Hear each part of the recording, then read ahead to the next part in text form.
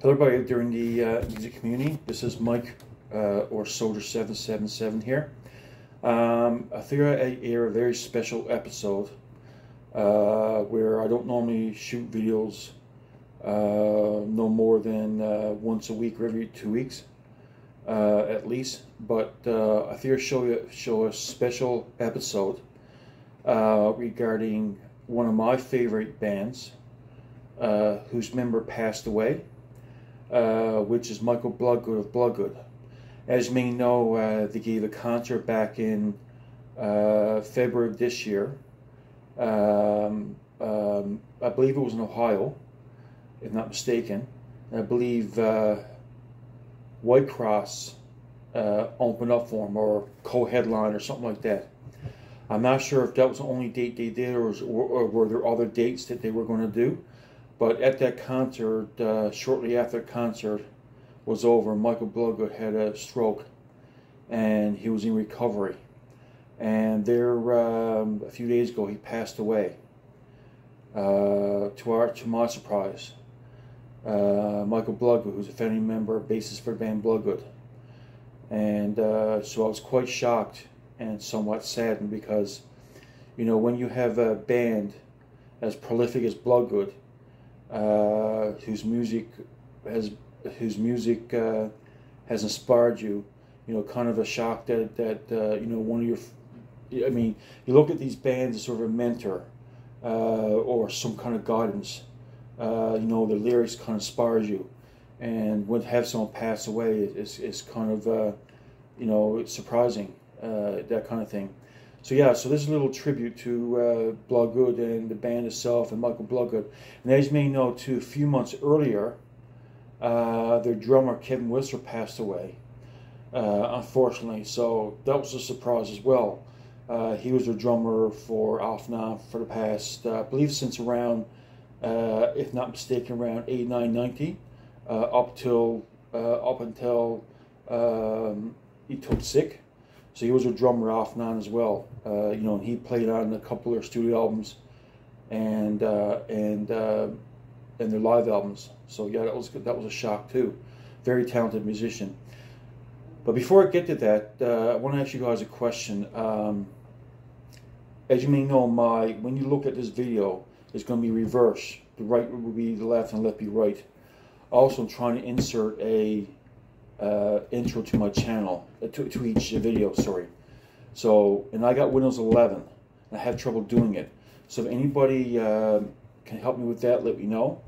Um, to get everything's in sync from my channel uh, as well. So anyway, let's get right to the Bloodgood, uh, the Bloodgood collection or the Bloodgood story. Um, so let me start from beginning. So um, I became uh, a fan of Christian rock, hard rock, and heavy metal in 1985. And the first few bands I really took a liking to uh, was Daniel Band, Rez Band, uh, Jerusalem, Petra, and Stryper. And I had a lot of these bands in my collection, or I would borrow these uh, cassettes uh, from my friends, or uh, one or two of my friends. And then, uh, so that was in 85 to 86 period. In 86 to 8, uh, around the 87 period, there was a, another batch of bands, what I call Wave 2. The first one bands mentioned was Wave 1. This is what I call Wave 2. And that was uh, Barren Cross, Bloodgood, Messiah, Prophet, Saint, and Leviticus. That was the next um, wave of, of bands I got into. So Bloodgood being one of them. So I got into them, Bloodgood around, I would say around early 87. I remember being, uh, going up to a friend's house for a brief visit and I believe he taped off uh, a tape for me of the first album, if I'm not mistaken. I remember being cold on a wintry day, I think it was early 87, and I had the first debut album taped off. Then what happened was that in in August or July of 87, I was on an exchange trip with my church, with a church. It was I'm in local, uh, at the time I was located in Grand Falls, Newfoundland, and I currently live at St. John's, or sorry, Mount Pearl, which is next to St. John's, Newfoundland. So Grand Falls is about four hours away, uh, drive-wise, and we had an exchange trip with uh, a youth group from our church from um, from Sidney Victoria, British Columbia. So I remember going flying over there and dropping into a book and Bible place um, in uh, Sidney. Uh, no, Victoria, Victoria it was. And as may know, most book, most book and Bible uh, stores uh, would have the heavy metal section, uh, other um, put back in stock room, or wouldn't have too much too much heavy stuff. My local book and Bible store would have the heavier stuff on special order only, like the heavy metal stuff. Any rock, hard rock, or rock would be in the front shelves, like probably Daniel Band, Rez, uh, Daniel Band, uh, Silver Rez, uh, you know, Petra, that kind of stuff. That were the only ones that was, as I remember, way back in 85, 86, 84, uh, were in the front shelves. And when heavy metal became more popular in 86, it put it like on special order only. Well, this pick, and I heard you guys in States mention the fact that they would put the um, the heavier stuff under the counter and would sell sell in like generic paper bags, almost like it's a covert operation. Well, this particular book and Bible was quite liberal. They had the heavy metal stuff up front. You can go and select it. They, I remember seeing Messiah Prophet, Stryper stuff. Uh, you know, this is back in early, uh, this back in August '87. Uh, the only book and Bible in, in locally uh, no, it wasn't Book and Bible. It was an independent store uh, ran by a member of uh, Lewisporte Church, and Lewisporte which was a half hour, 45 minutes from, from Grand Falls. They had heavy metal, Christian metal stuff, hard rocks up front, but they weren't affiliated with the, with the church. They were an independent owned, owned store. And I would go there for certain heavy metal purchases too, from from around 87, 88 up until around 91, I believe, in that period. But other than that, uh, uh, all, all of most stores would have the uh, the book and Bible stores would have everything on special order that I, that I was aware of only, and or, or, would have it in the back stock room. Anyways, let's get, get back to it. So anyway, so I bought when I went to a trip over in BC, I bought the first two cassettes, the debut album and the Detonation, the first, on cassette.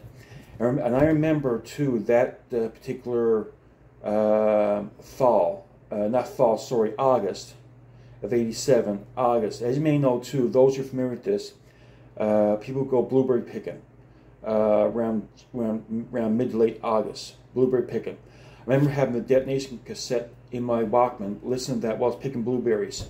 Uh, so that was a bit of a memory of mine. So, uh, so then from then on, I became a Bloodgood fan. Had her first three albums on cassette, and then back around 15 years ago, Oh, and I bought the um, um, I bought the um, All Stand Together on CD. I think it was back in '92. I think it was late '92. I bought the All Together on CD, and I had never had Out of Darkness on any format. Um, but I had the uh, uh, taped off uh, Live American Shaking World, though that live album. Uh, but at this point in time, right now, I have everything on CD or vinyl. So let's get right to the collection. So what we have here is is the trading cards when Girder reissued a couple of their CDs, or a few of their albums. So this is the um, Metal Missionary uh, trading card and um, uh, Danger Close trading card. There you have it. So it's kind of qu quite cool to have that in my collection there. There you have it. So let's get right to the CDs. So here we have the Girder reissue of Metal Missionaries. And I got that in the mail there a few months back from Girder Music. There you have it there. And uh, it's quite nice to have, it's really nice to have in, in my collection. And what I like about this one's that, you know how Sorba got the, got the and black? This got the red and black. That's pretty cool. I thought it was quite cool. So, um, yeah, so Michael Bloodgood bass and vocals, Les Carlson lead vocals, David Zaffiro guitar and vocals, and JT Taylor drums. Now, this is the enhanced version of uh, Metal Missionaries because the original version had Awake, Accept the Lamb, Anguish of Pain, Pain from the first album, and Battle of Flesh was from, of course, Detonation. And there's an 85 uh, radio interview, and Man in the Middle was a demo version. So basically, the, the demo only had four songs: "Awake, Accept the Lamb," "Angel Pain," and Battle Flesh. That was demo. Uh, they put a version back uh, 25th anniversary, which would have been 85, 95, uh, 2005, 2015. 2015 version on uh, Bloodgood Records. Also had bonus tracks, the 85 radio interview, and Man in the Middle, which is a demo version of the song, which was eventually ended up being on on um, on um, Dangerously Close. Um, but this version also included uh, Black Snake and Awake. So I thought that was that was pretty cool. So I got two more additional songs, Black Snake and Awake. So this has got more songs than the both the original four song demo EP came in '85, and the the 25th anniversary version came out. Uh, uh, 25th was uh, 85, 95, 2005, 2010. When came out, sorry, 2010. The the CD version came out 2010 on, on a Bloodgood Records that Bloodgood put themselves. So there you have it. Very good to have in my collection. This next version is the Tense Millennium version of the debut album. Uh, came out in 2010. So here's the original artwork there. And this is the uh, enhanced artwork. And I got the, there's only 100 of these press, and I got the uh, version that's got the original, uh, the, the regular um, 10 song CD, or album, sorry. And uh, got, it's got some uh, demo, I think it's got some uh, let's see. Oh yeah, I got some uh, Black Snake Center version. Uh, Awake Ultimate Mix. That's kind of cool. Have it, have that those versions. Also got a live concert right here. So there you have it. And this is a pretty good album. Um, the only song I don't like is Demon Run, but every song, every song is good on this one. All nine songs. Uh, great, great debut. Uh, I've been thinking about doing a doing a um, uh, top uh, debut albums of, of some of the bands that I'm into. I think we're doing that as well, so that's something I'll probably be down a pipe. So there you have it. And that originally came out in 86, uh, by the way, on Frontline Records. Here we have Bloodgood, uh, Detonation. And as you may know, uh, this has a very famous uh, The Messiah Crucified, which is awesome tunes. It also has great tunes too, like Battle Flesh, Vibrant People, uh, Alone Suicide, another good song. Um, Eat the Flesh, Holy Fire, Crucify the Messiah, Live Wire. So those seven or eight songs are the best songs in the album, Detonation. Um, here's, oh, just my cat went by. So here's the uh, visual artwork, which is really cool, like the artwork. Here's the uh, the enhanced artwork. This is also the 2010 uh, 10 million records um, which same as uh, debut was on. And uh, this was this is put out by uh, Roxx Records or Roxx Productions or Bill Bafford, that that umbrella of, of group or companies. And this also has the concert. This only 100 of these press were had the backup, backup. Uh, sorry, 100 of these press which also has a lot, which which has a live CD uh, as well or a live album as well. Uh, just to clarify, there's not that there's a, only 100 of these press uh, but it's only 100 these press that had the second disc of the live of a live concert. That's what I meant to say. So only 100 of these had the second disc, which which I got both versions, uh, both uh, CDs on uh, with that second disc. There you have it. Bloodgood Detonation originally came out in 1987. Also, that album went platinum as well. So there you have it. Another great album. Now, Bloodgood took a slightly mellower direction for this album, uh, but still is a good album. So this is uh, Rock in a Hard Place. Originally came out in 1988. Here's a digipack version which came out by Retroactive Records. And uh, this also has a lot of great songs. Uh, they're Shaking It. Um, Never Be the Same is a good song. Uh, Pre the Presence is a good song. Uh, Do or Die, She's Gone, and Seven. That's probably top, um, uh, some of uh, some of my favorite tracks of the album. So Bloodgood Rocket Hard Place originally came in 1980 eight on the original front frontline records. There you have it.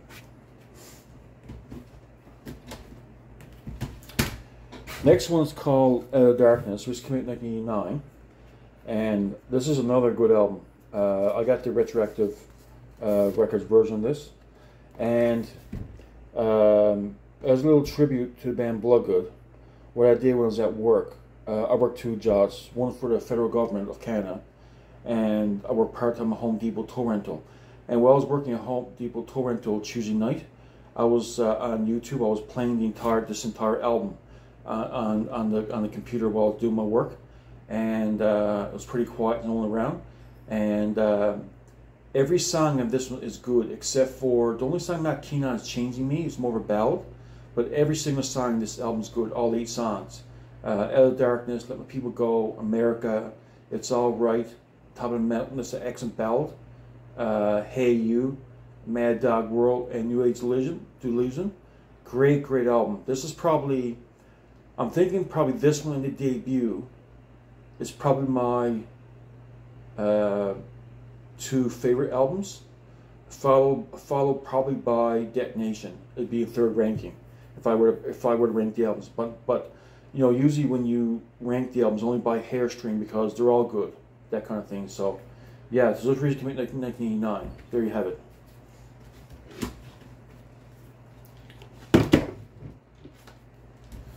Next up, we have Bloodgood uh, Live in America.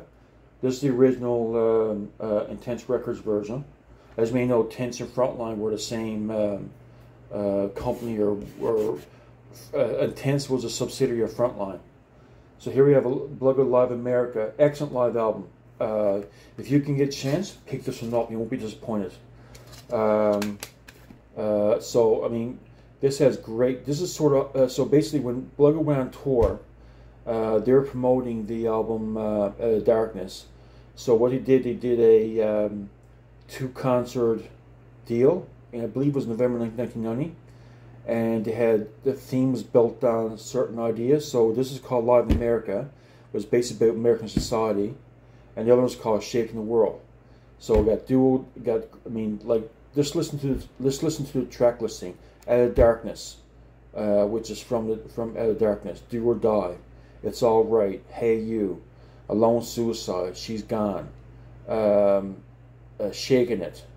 Uh, Soldier of Peace. America. Uh, Never Be the Same. Then you got Melody. Demon on the Run. Killing the Beast and Battle of Flesh and Black Snake. Man, what a what what a list of great songs. What a list. awesome, awesome. So that came out in 19, 1990.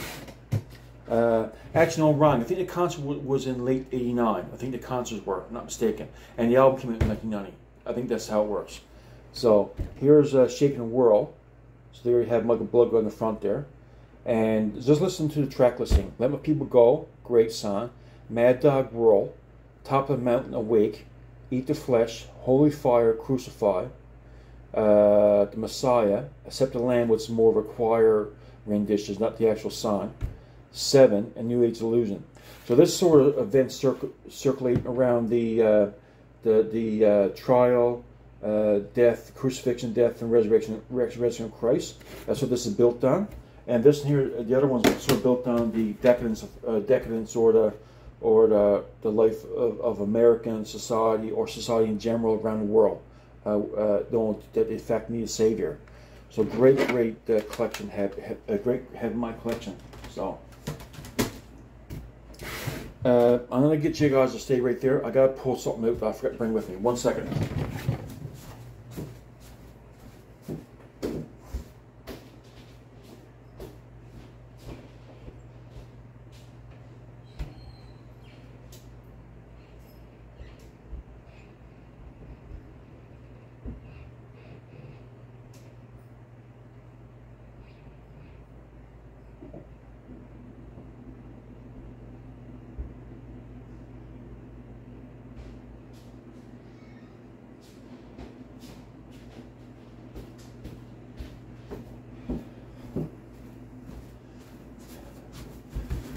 Okay, sorry, but I'm back. So also I have the video version of two albums called Rock Theater, uh, which is the two concerts on DVD format. It was originally released on VHS with the same artwork on the front cover as these two.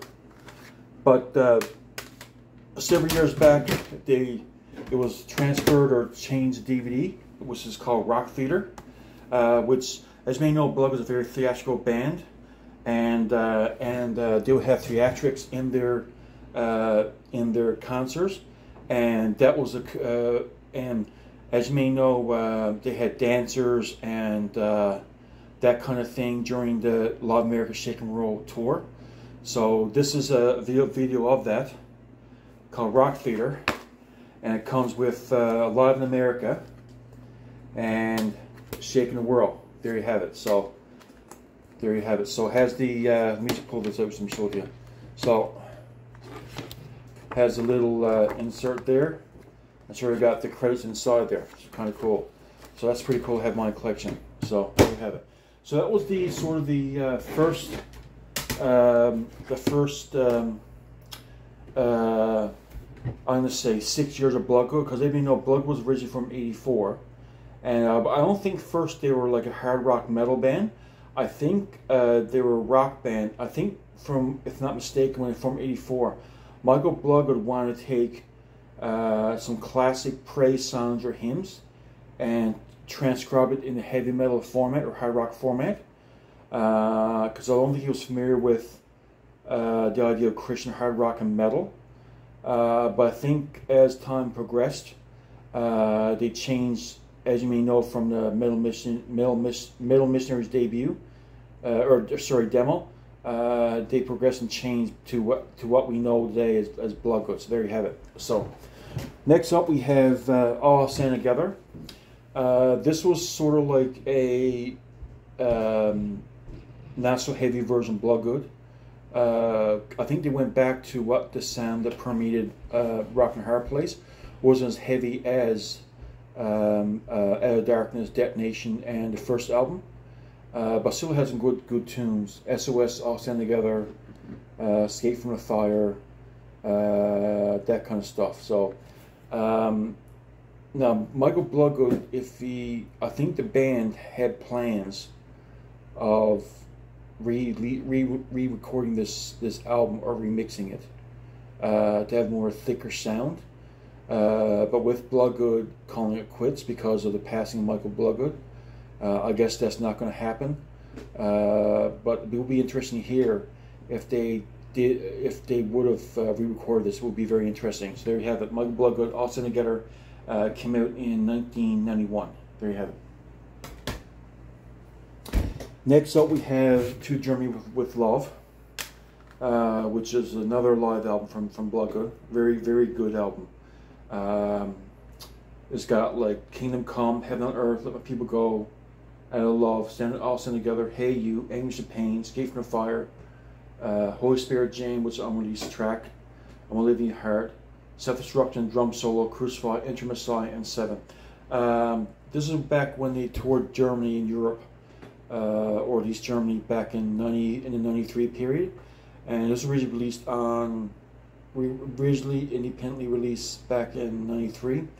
But uh, Magdalene Records, which was the precursor to uh, what is now known Retroactive Records through Matt Hunt, uh, put this out in 2000. And the highlight of this one, I think, of this album is Enter Messiah, uh, where Les Carlson, the translator in German, uh, Les doing a bit of, bit of uh, on-stage preaching or discussion or explanation, and the translator is talking, talking, and then he cuts into Messiah. Uh, you should, if you haven't heard that intro Messiah, go online and listen to it. It's awesome, man, and you really feel the power of the Holy Spirit. Uh, I find myself when you when you when you bring up when you listen to it, it's it's is impactful. You should go on and listen to it. Really good. It's Bloodgood to Germany with Love. Uh, Commute 93, released in, in 2000. Uh, next up we have, so after not hearing uh, from Bloodgood in a while, uh, they saw, I think they regrouped around 2007, and then Oz Fox from Stryper uh, was on again, off again guitar player, uh, starting in 2007. And they did some tour dates and concerts or one-offs or tours. And then they released a, an album in 2000, sorry, 19, 2013 called Dangerously Close. Here's a Girder Records re reissue of that album. So it's really cool. Dangerously Close, and uh, here's the inside there. And this got a lot of good songs. Got Lamb of God, uh, I Will, good good tune. Uh, Pray, uh, In the Trenches is a, is a cool song. Crush Me is an interesting song. That's that's more of a, a ballad. Very good song. It's a kind of acoustic with less singing, and it's it's pretty cool. Uh, in the Trenches, Man in the Middle, good tune. Uh, yeah, so a lot of good songs in this one. This is the last album that he put out. Really good uh, in terms of studio wise. Really good album. Then in 2020, uh, 2019, uh, they did a documentary of the band and and uh, uh, Bloodgood. This is produced by Paul um, Bloodgood, Michael Bloodgood's son. Do I have his name right? Uh, yeah, Paul Michael Bloodgood, Blood, uh, Michael Bloodgood's son. Uh, in the trenches about the is about the um, uh, what the band experienced over the years, the trials, the the tribulations uh, of the band through the years, band member changes, uh, band member disagreements, that kind of thing. Uh, so there's a Blu-ray version of it, and I believe the band won a lot, of, a lot of awards with this. And here's the inside of it here. Great, great to have in my collection. Really glad to have this in my collection.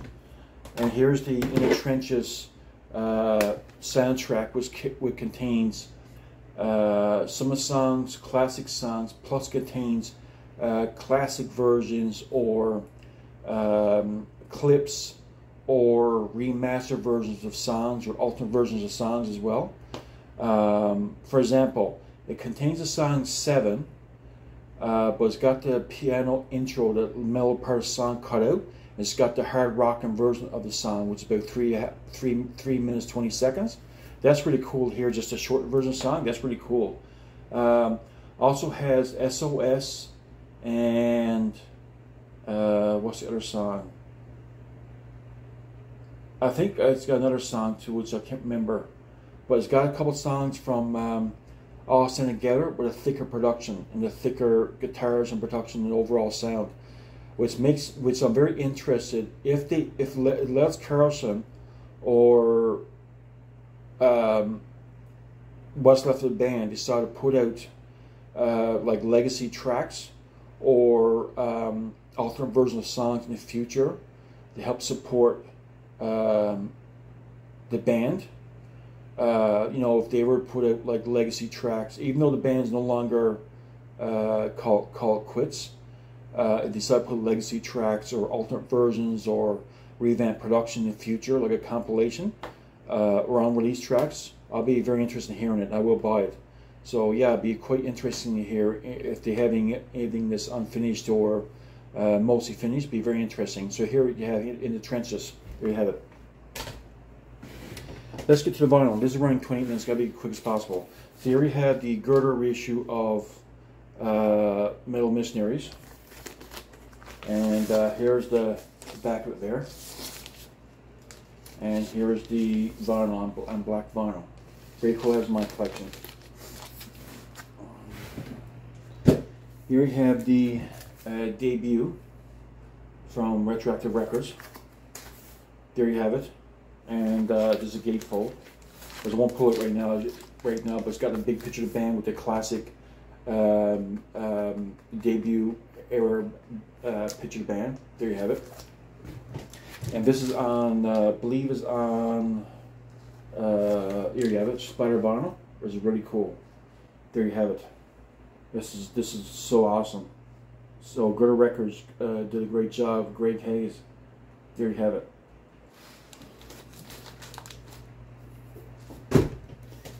Here we have uh, Detonation, which, as you may know, came in '87. Great album. Here we have the back of it there with the cool photos of the band. There you have, and that's Michael Bloodgood right there. Les Carlson. Uh, David Zaffiro, who went to be a producer, left Bloodgood went 80, became, became producer. And Mark Welling on drums. Really cool. And this is on uh, blue vinyl. There you have it, really cool. So,